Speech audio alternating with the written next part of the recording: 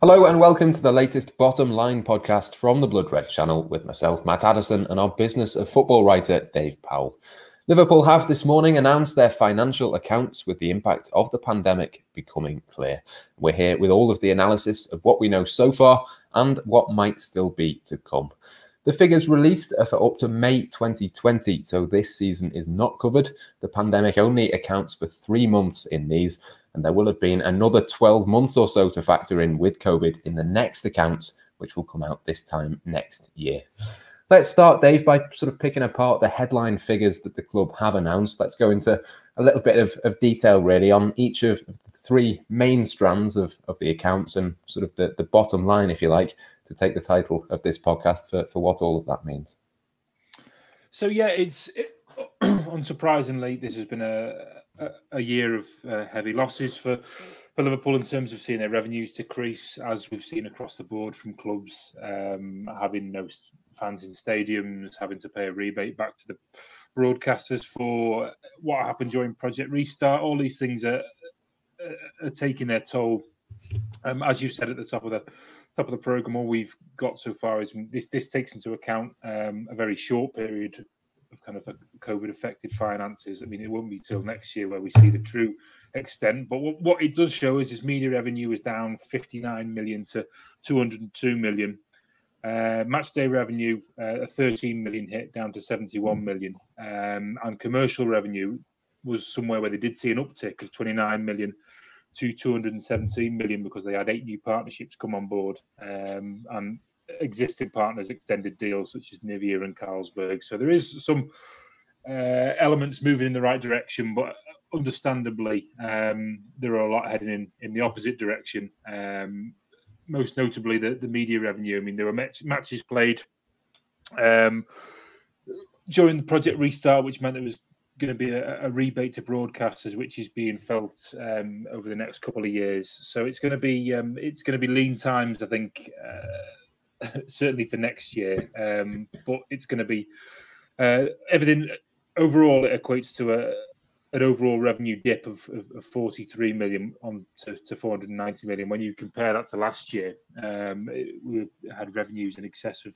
550 million. Um, but obviously, all that was on the back of Champions League success um, and, and, all the benefits that, that came with that. Um, so yeah, it's it's not as bleak as some, but um, it's still, when you compare it to last year, it's certainly not what, um, what, what what the owners would have been hoping for.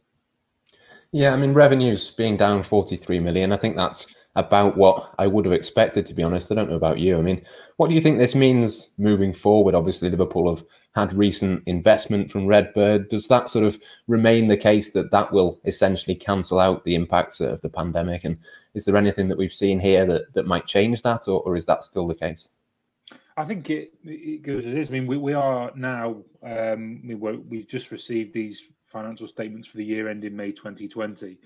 Um, and and the reality is that the, the, the, club already know pretty much what the financial statements would look like for the year ending May 2021, but we won't see them till next year. So they'll know full well what the actual overall picture of this is going to look like. Um, and I think that's what accelerated the, the, the plans to to get Redbird involved um, to, to enable them to keep up a number of projects, I think, um, and to try and find some value um, where they probably don't. I mean, generate as much as they'd like. Um, Gerry Cardinale from Redbird is um, as, as a, a, long history of um, generating good revenue streams from um, media outlets. Um, he's, he's been a huge part of the Yes Network in, in the States, which kind of is a regional broadcasting network which shows New York Yankees games, etc. And they're quite good at uh, monetizing the content around that. So there may be some ideas there, but also I think it allows um, FSG,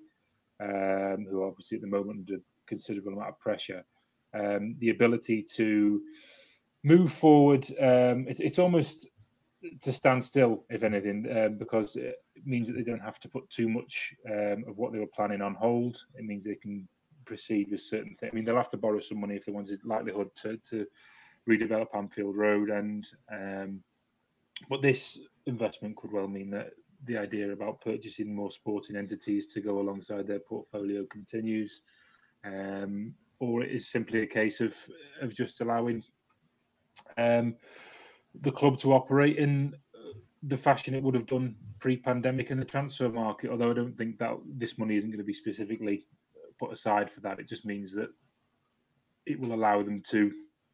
Um, they don't have to dig deep and find other areas of, of finance to do that. I mean, they'll they'll have that in the back pocket. So yeah, I think it just enables them to stay still almost um, and, and proceed with what they were they were going to do, as opposed to coming in and, and creating these whole fantastic kind of revenue streams because at the moment, and we know for the for right now and, and for the next 12, 18 months, it's going to be um, be very difficult indeed. We've been through the numbers that they have told us. There are obviously other bits of the accounts that we don't know the details of yet. What are Liverpool not telling us so far, and, and why might that be? Um, I think it's what we don't know. So, I mean, the club will know pretty much now what um, this looks like for um, next year, even.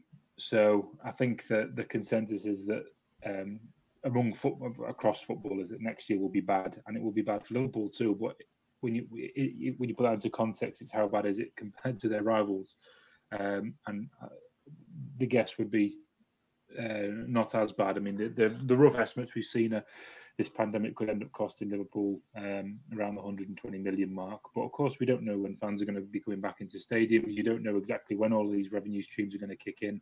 Is the Premier League deal going to be worth as much as it was, um, or as much as they wanted it to, um, in light of um, the pandemic and uh, the Super League? How so? All these things at play at the moment. Um, what is interesting is that there's um, I mean, Liverpool haven't borrowed any money um, to, to get themselves through this um, so far. I mean, we've already seen the likes of Arsenal and Tottenham have, have, have taken um, financing options available to them um, in order to to meet obligations and to and to make sure the business moves forward and they're able to to to operate. Um, Liverpool haven't had to call on any kind of credit facility at the moment, which suggests that they're in a fairly strong position um, on the balance sheet um, in terms of how the business is managing itself. Um, but of course, it's a, it's a, business, and they want to make sure that it makes as much money as possible. And it's. We we spoke about this on on the podcast last week um, about how it's no coincidence that the Super League um, kind of arose because um, there is an, not there's a need for some clubs to to make more money, notably in Spain. I don't think um, the Premier League clubs have that need ever want to make more money and just to ensure they stay ahead of the competition. Um, but given the fact that the uncertainty over COVID, you can see why they kind of pushed for the Super League, even though it was um, it, it, was total self interest. Um, but yeah, I think next year we're, we're really going to see the true effects of it. Um, but as I said before, Liverpool haven't you exhausted any credit facilities which are available to them, or or any um, any kind of government loans or anything like that. So I think they're they're probably in a in an okay position. Um, and I, I think that when we see next year, um, it will be offset somewhat by um, the fact that we haven't seen a number of commercial deals which have been struck in uh, the past 12 months appear in, in this set of accounts. And in terms of, of other clubs around the Premier League, for example, how will this compare to them? Because I suppose we're going to see this sort of thing in club accounts of all of, of the top clubs, the bottom clubs, all those in the middle. It's going to be you know a, a loss and it, it's going to be a similar sort of picture maybe not the same numbers but a similar sort of pattern not just for liverpool but for the entirety of the premier league. I, I think it's uh, the case across across europe. I mean who, who who's really making money uh, now we, we've got tv broadcast rebates to factor in um, the, the, transfer market you've already started to see the knock-on effect of that it's, it's become a bit more uh, a bit softer um, the the main, some of the main players who are usually hovering around now, um, and the money seems to be less quoted as well. I mean, we went through that period about two or three years ago where it seemed it was only a matter of time before we were breaking three, four, five hundred million pound for players. Um, obviously, that's been been reined back in now, and, and the, there just isn't the marketplace for, for some of these clubs to dip into now. I think you're seeing that. Um, I think a lot of teams are protecting what they kind of have um, moving forward. Um, but there is going to be opportunities um, because time moves forward, and, and and there'll be new players coming into town with with, with kind of broadcasting. So Amazon and, and DAZN and people like that will be coming into play. So it'll be interesting to see what um, happens in terms of the broadcasting deal, whether it actually, well, whether it remains stagnant, um, whether it, it, the dial moves backwards, which I don't think it will, um, or whether there are new new kind of street, you know, kind of avenues that they can explore um, with this deal and, and, the advance of technology and and people's changing habits to to kind of make more money. But reality is, it's the Premier League is um, will will be okay. I think the the major fires are burning, um, certainly outside the, the, Premier League and in the Championship in English football and, and across Europe. Um, I think the Premier League is more um, kind of fireproof than than some. I think to, to the effects of the pandemic, but we we just don't know when normality will return to to make these kind of revenue streams return to what they were because it's impossible to, to kind of put a finger on that. We all hope it's going to be soon, but we just don't know yeah, I'm sure. Hopefully, we'll see a, a great number of, of, fans back in the ground at some point next season. But as you say, we just don't know quite when that is. So obviously, the knock-on effect of that we can't quite judge at this moment in time. I mean, we'll just move on for a second uh, from the the accounts. I wanted to to ask. Obviously, you reported over the weekend of a, a possible three billion pound takeover bid directed at Liverpool FC, or certainly directed towards FSG. What do we sort of know about that at this moment in time? Is there any indication at all that FSG might be open at the right price to, to moving on from Liverpool? Well, it's important to say that the, the report service first off from from the Mirror. It was um, it wasn't something which was uh, on the horizon. Certainly in the past couple of weeks, we thought, but um, from what I've been told from from people in the US um, who are fairly well placed, is that there is no intention for for FSG to to sell the club.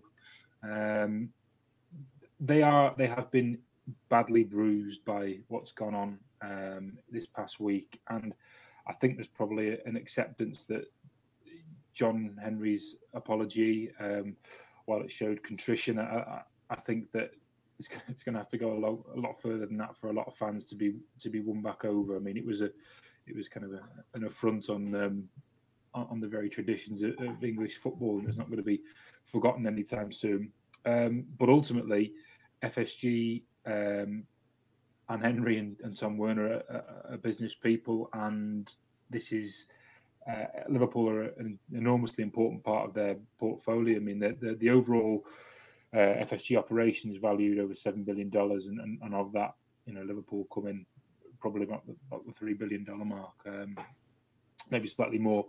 Um, and, and, obviously got the Boston Red Sox in there as well. The whole idea of them bringing on Redbird Capital was to try and expand that portfolio. Um, and Tom Werner himself, a couple of weeks back, said that it would take an insane offer for them to consider selling Liverpool. I mean, whether they consider um, that three billion to, uh, reported takeover bid um, to be an insane offer, I don't think they do because I think um, there's some other fairly, you know, ambitious estimates from from Forbes about them being about the, you know, about the three billion mark um, in terms of sterling. Um, that seems to be overinflated. Um, however, would they sell if their offer was right? I don't know. It's one of those things that you, only John Henry knows how um, how badly burned they've been from this, and whether this is something that they they feel that they can't turn around. Um, but while a business makes money, or while they has a potential to make money past the, the pandemic, um, I don't see them moving on. I mean, that's my personal opinion. Um, and I, I, do think that maybe if there was to be a change of ownership, um, it would be more gradual.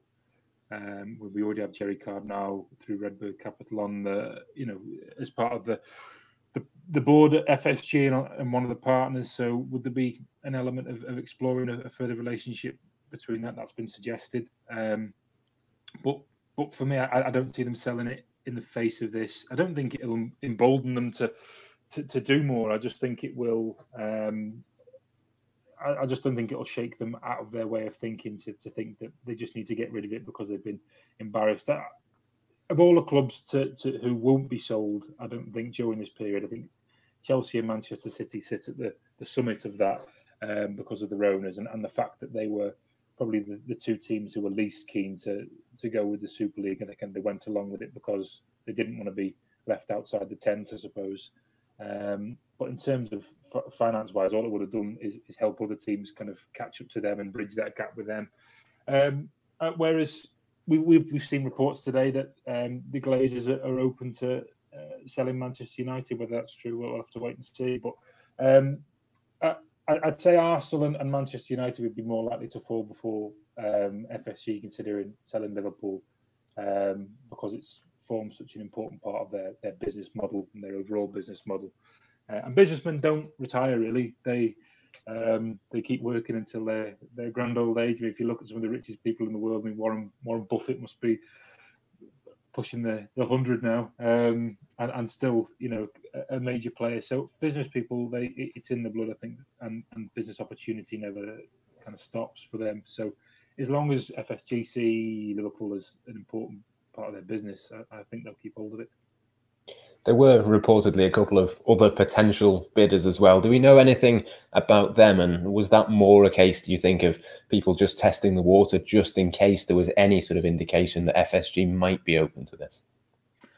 I think it's a, a, a status thing now. We've seen, uh, uh, from what we can gather, it was you know other other reported interest has been from from the Middle East as well. Um, and, and and while on one hand we we kind of decry the involvement of, of kind of oil money in, in terms of driving up prices and, and, and the transfer market, um, the same token, you, you, do see some people say, "Oh, you kind of want this to happen." So um, Liverpool Liverpool could reach those levels, but ultimately, I mean, it's I, I don't think any of those are, are really um, they're probably baseless at the moment, um, owing to the fact that. But having said that, the only people who, who, really have got that kind of money to spend on, on football clubs at the moment um, is possibly people in the mid, in the Middle East or or kind of um, Russian oligarchs or, or private invest private equity firms. Um, certainly, individuals um, with altruism and, and, wanting to spend their money, um, like Jack Walker did at Blackburn, albeit on a bigger scale all those years ago. I just don't think these people exist at the moment. And, and I don't think I don't think any any owner that comes in, um, if FSG did sell or, or, to any other football club at the top level of English football, um, is making a, a is going to be making a huge difference to to to the, the conversation we've been having over the past week in terms of getting football back to, to its roots and, and putting the fans at the heart of everything. Um, I think it will either be uh, you know people who can buy clubs at this level, um, it's either vanity or it is um, it's because it's a good business move, um, and or it's both. So um, I don't know. We're, we're in a strange situation. I, I, I, don't think, my own personal opinion, I don't think any owners will snap from what's happened during this past week. I think they'll retreat. I mean, people have been protesting about the Glazers since 2005. Um, and they are their their kind of shield has always been Ed Woodward. Now he's gone. I suppose they've got to make themselves slightly more visible until they find another lightning rod for their hostility. Um, but for the most part, they've kept themselves over in the states and focused on other in, their other interests. Um, the Tampa Bay Buccaneers. Will FSG do the same with um, Liverpool? I mean, and I mean, let's be honest, they made that video apology from the the halls of the Boston Red Sox, didn't they? So um, I think they'll just stay out the limelight for as much as they can now um, and see what kind of wounds heal if they do, uh, and then maybe take stock uh, once we start to kind of find our way out of the pandemic and and, and, and see whether long term football has been um, impacted severely. Yeah, absolutely. It's going to be an interesting few months. I think the European Super League last week, the financial accounts this week. It's been a busy couple of weeks for you, Dave. So thank you very much for, for taking the time to join me. Thanks, Matt. Thanks very much. We'll have, of course, all the extra details to come out over the next few days on what these accounts mean. And Dave will be, of course, all over that for the rest of this week. Can, of course, look across Twitter, across the Liverpool Echo's website, and Blood Red for all of that stuff. We'll have all of the updates as we have them. If you've not signed up to the Blood Red newsletter yet, make sure you do that in the link in the description. But until next time, here on the Bottom Line podcast, it's goodbye for now.